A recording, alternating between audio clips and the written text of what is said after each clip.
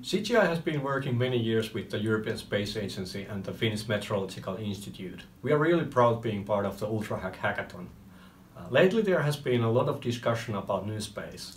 The space is still the same. There has been sent more satellites and instruments on skies which provide new data for you to utilize and visualize.